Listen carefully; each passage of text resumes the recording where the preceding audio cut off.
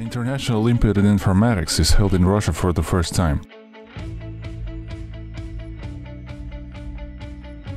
The host is Kazan Federal University, the second oldest university in the country. More than 300 students from 83 countries are attending. Half of the participants will receive medals, but only 8% will be awarded gold.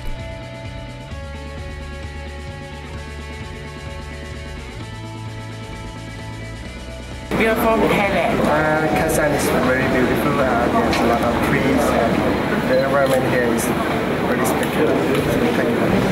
Yeah, we haven't, but I, I'm looking forward for the excursion.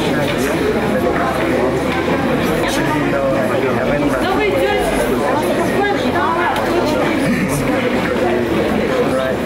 We try to earn the highest score. Yeah.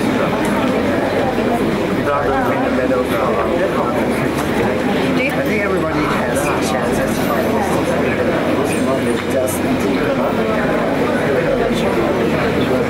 It's okay. okay. I think everybody got their chances. Uh, let the best one win.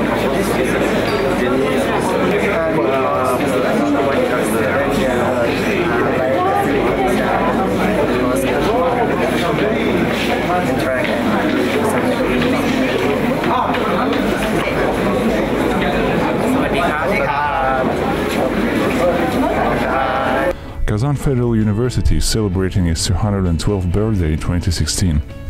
IT is widely taught at the university, including the IT Lyceum, bachelor, master, and PhD programs, short-term programming courses, and IT education for senior citizens. Kazan University extends its gratitude to all the participants and will be glad to welcome them as students. Have a nice time in Kazan.